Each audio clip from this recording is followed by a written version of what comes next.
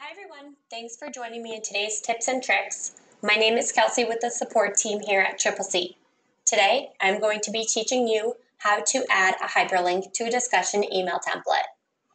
First, we'll head over to your settings page, and then we'll click the file library. From here, you can upload the file you wish to hyperlink. Please note you can create a new folder to add this to, or you can go ahead and update it to an existing folder. In your file library, we recommend storing any files that you send out to your client. For example, you can upload and store your menus, pictures of your venue, or files of any food and beverage that you serve and you'd like to show. Once you've added your file to your file library, you'll save this and then head over to settings and click discussion email templates.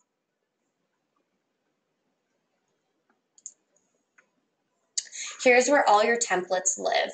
You'll go ahead and edit the template that you want to add this hyperlink to.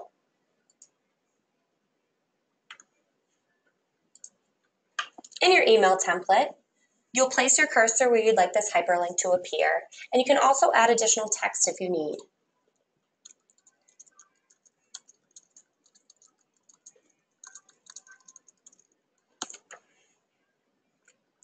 Then we'll go find our toolbar and click Insert Edit Image File. You'll want to find the menu or the item that you want to hyperlink, and we can double click it and insert it.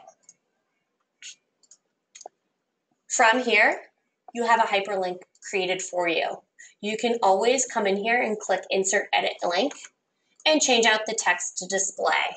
So maybe I want to get rid of additional text.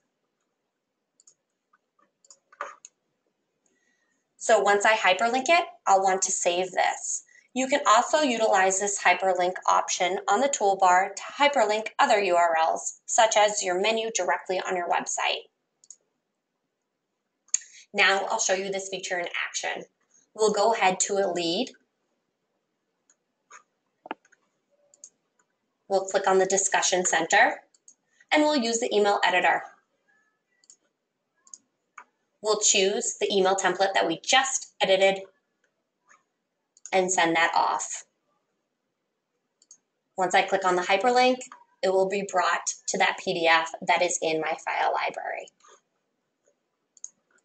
If you have any questions at all, feel free to reach out to us on the support team through the help and questions button. Thanks so much and have a good day.